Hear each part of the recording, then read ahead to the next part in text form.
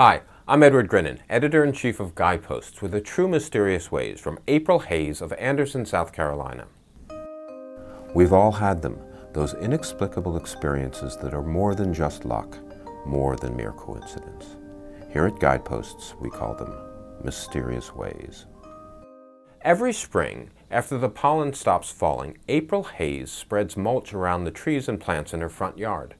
But she hadn't bought any yet. The little green twigs had stopped falling days ago. April had been watching her budget carefully. As much as she loved her landscaping, it had taken a back seat. I just can't afford it. The Lord will just have to dump it in my yard, she joked. Later that week, April came home from work and changed her clothes. She had just stepped into the hallway when the doorbell rang.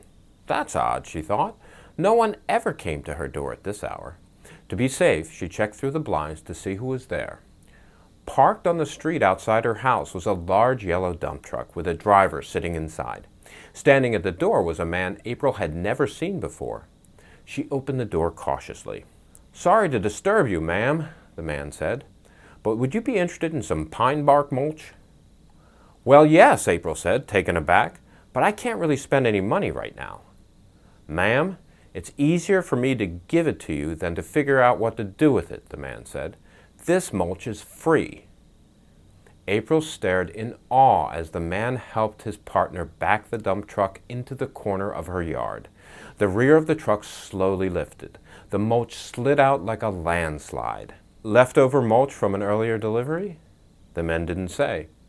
But April knew who guided them to her house.